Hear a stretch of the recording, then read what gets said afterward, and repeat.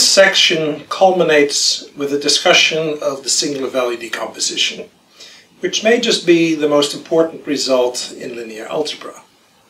Now, to motivate why the singular value decomposition is so important, what we're going to do is look at low rank approximation of a picture, of a matrix, but we're going to motivate it by looking at a picture. So what's the idea? Well, let's say you take a picture with your digital camera. The picture really is stored as a two-dimensional array of pixels, and pixels really are numerical values. So we can think of it as an n by n matrix. okay, so what if we don't want to store all of the pixels? What if we want to somehow do data compression? Well, if we call this the matrix B, then what we may want to do is approximate this with a matrix A times a matrix X, where the idea is that matrix B is the entire picture, A is a matrix with only a few columns, and X is a matrix with only a few rows. B is m by n, A is n by k, and X is k by n. All right, well, how might we do this? Well, one way for coming up with matrix A could be to say, okay, we'll pick a couple of columns in our picture and we'll make those the columns in our matrix A. Right? And then, if we take an arbitrary column in our original picture, let's call it Bj, we're going to say, hmm, if the columns that we picked represent the picture, then maybe we can approximate this column Bj as a linear combination of the columns that we picked for A. Hmm. What does that mean? We're saying that maybe Bj is approximately some constant chi0 times A0 plus chi1 times A1 plus chi2 times A2 for the case where we pick three columns. Obviously this generalizes to picking k columns. Now, we're going to want to do this for every column of B. So we want to bring in a subscript j to indicate that these are the coefficients with which we take linear combinations in order to approximate the jth column of B. Right? Now, we said let's take A0, A1, and A2 to be the columns of A. So we can also think of this as A times xj, where xj is now the vector with entries chi0j, chi1j, chi2j, or in more general case, with k entries like that. So what we're saying is that bj is approximately a times xj. Now we would like to pick our xj to be the best set of such coefficients.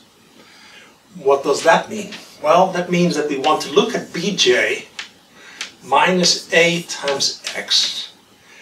We want to say, let's look at the magnitude of the difference. Well, we can use the 2 norm for the magnitude. And then we can say minimize that over all possible choices of x and pick your x sub j to be the vector x that minimizes all of that. That's known as the linear least squares problem.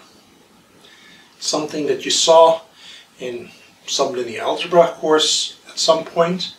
It's something we'll delve into much more deeply later if either you forgot or you didn't see. Now, if A has linearly independent columns, then the best such solution is given by, well, let's see, if A were square and invertible, then xj would simply be A inverse times bj, right?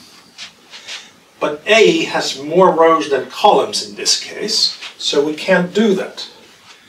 Now there's something called the pseudo-inverse that takes its place. And the pseudo-inverse is given by A transpose A inverse A transpose times Bj. And you can prove that this is the best choice in the case where A has linearly independent columns. All right? And what does that mean? Well, that means that our Bj is approximately A times that vector, which is given by that right there. Now, what if we do that for all of our columns in our uh, picture? Then we would say, okay, B0, B1, and so forth is approximately equal to, let's see, the first column would be approximated by A, A transpose A, inverse A transpose B0. The second column would be approximated by A times A transpose A inverse A transpose B1 and so forth. And you should recognize the fact that we can then bring this matrix out and this is actually equal to A times A transpose A inverse A transpose times B0, B1, and so forth. This is equal to that, and therefore this is approximately equal to that. So what do we have now?